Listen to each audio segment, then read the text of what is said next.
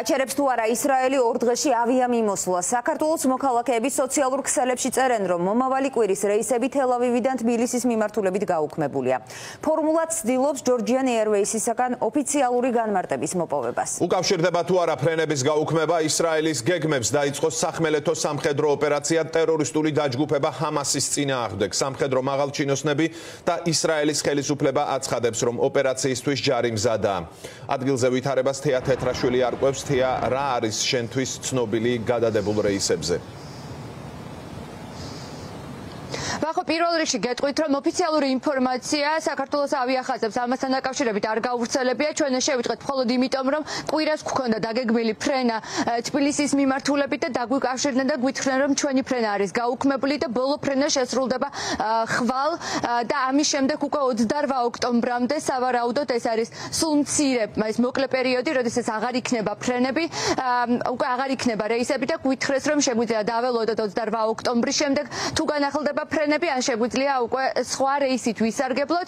ესეთი არის ინფორმაცია, სწორედ ამის შემდეგ უკვე სოციალურ ქსელებშიც აქტიურად დაიწყეს ადამიანებმა წერა გაუქმებული ფრენების შესახებ და ჩვენ დავუკავშირდით აირზენას ოფიციალურ წარმომადგენელს აქ ისრაელში, რომელმაც დაგვიდასტურა, რომ ფრენები ნამდვილად გაუქმებულია და გვითხრა, რომ ეს არის ისრაელის სახელმწიფოს მოთხოვნა უსაფრთხოების ზომებიდან გამომდინარე.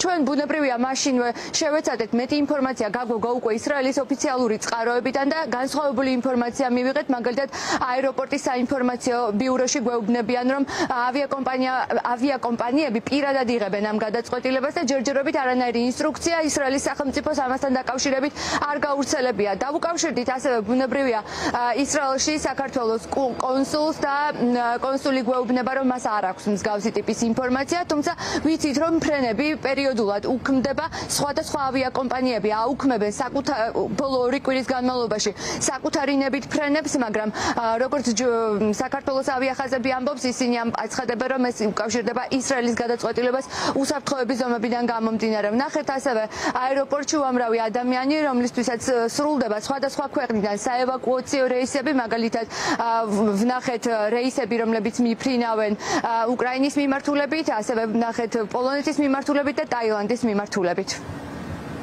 აი ხო უბრალოდ ზაში ვარ და არ გავცნობირო ბოლო ინფორმაციას. რომელიღაც ავიაკომპანია აუქმებს ანიშნავს რომ პირდაპირ რეისები არ იქნება იმიტომ რომ მე ზუსტად ვიცი დადასტურებით რომ ელალი დაფრინავს და აი ფრენს არკიასაც შეზღუდა რეისები და ეს არის. მოგაწოდეს ინფორმაცია რომ აირზენას რეისი კვირის გაუქმებულია. დაუკავშირდით საგარეო საქმეთა სამინისტროს და მოგეწყვეტენ დეტალური ინფორმაცია აირზენა ფრენებს არ აუქმებს საგარეო საქმეთა სამინისტროს დაუკავშირდი კომენტარს მოგცემენ კვირის რეისი უქმდება ხვალინდელი რეისი არიციან შესრულდება თუ არა. ზუსტად რა იმიტომ რომ არის კომერციული რეისები ანუ საელჩო და საგარეო ხოლმე ახორციელებს ამ რეისებს ჩარტერის ორგანიზებაზე არ მუშაობს სამინისტრო ფედერაციაში ახლა ფრენებს ახორციელებს კომერციულ რეისებს კონკრეტული ავიაკომპანია ფრენა გაუქმდა, რადგან კომპანიის გადაწყვეტილებაა, რომ არ სურთ აქ დაშვება. ეს ავიაკომპანიის გადაწყვეტილებაა და არა ისრაელის მთავრობის. გადაწყვეტილებაში ხელისუფლება არ ერევა. ცხადია რომ ფრენების გაუქმება ზოგადად სხვადასხვა ავიაკომპანიების მხრიდან უკავშირდება იმ ოპერაციას რომელსაც ატარებს ისრაელის სახელმწიფო. ახლა ჰამასის ტერორისტული დაჯგუფების წინააღმდეგ და ბოლო ცნობებით ახლა მთელი ქვეყანა არის იმის მოლოდინში როდის დაიწყება სახმელეთო ოპერაცია. ჩვენ მთელი დღის განმავლობაში ბუნებრივია მუშაობდით ისევ ფრონტის ხაზზე და შეიძლება ითქვას რომ იქ აქტივობა მაგალითად მძიმე ტექნიკის გადაადგილება უკვე ნაკლებად შეინიშნება რაც იმას ნიშნავს რომ ძირითადი დისლოკაცია არმის არის უკვე გადა გადასული წინახაზე და ღაზის სექტორი არის მთლიანად ალყაში.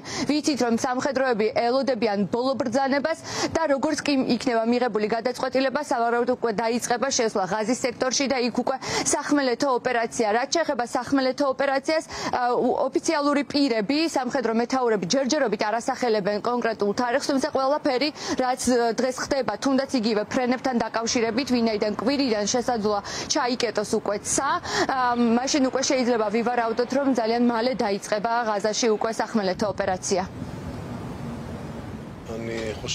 იქნება სამი მთავარი ფაზა. ახლა ვართ პირველ ფაზაში რომლის დროსაც სამხედრო კამპანია მიმდინარეობს საჰაერო იერიშებით და მოგვიანებით მოიცავს სახმელეთო მანევრებს. მიზანი ტერორისტების ნეიტრალიზება და ჰამასის ინფრასტრუქტურის განადგურება. მეორე შუალედური ფაზა მოითხოვს ოპერაციებს უფრო დაბალი ინტენსივობით რომ აღმოიფხვრას წინააღმდეგობის კერები. მესამე ეტაპი კი საჭიროებს ღაზის სექტორის ცხოვრებაზე ისრაელის პასუხისმგებლობის მოხსნას და ისრაელის მოქალაქეებისთვის უსაფრთხოების ახალი რეალობის დამყარებას ეს არ არის ოპერაცია, ოპერაციები რამდენიმე დღეს გრძელდება. ჩვენ უნდა ვიომოთ ჰამასის და ჯიჰადის წინააღმდეგ. უნდა გავანადგუროთ ისინი, რომ ღაზა მომავალში იყოს ჰამასის და ჯიჰადის გარეშე. ეს გაკეთდება თავად ღაზელებისთვისაც, რადგან მათთვის მოაქვთ ბოროტება.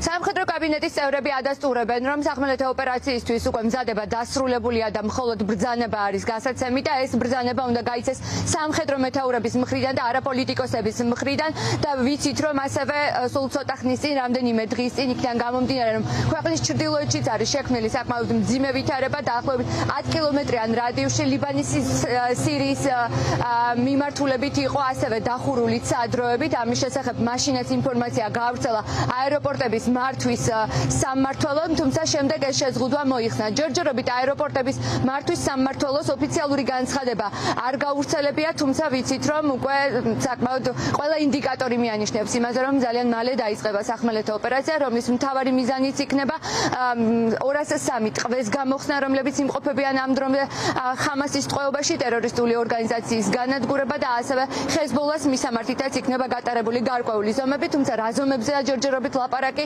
ამას არ არასახელებენ სამხედრო მეთაურები. უახლესი ცნობები ისრაელიდან თია თეთრაშულმა მოგვაწოდა მადლობა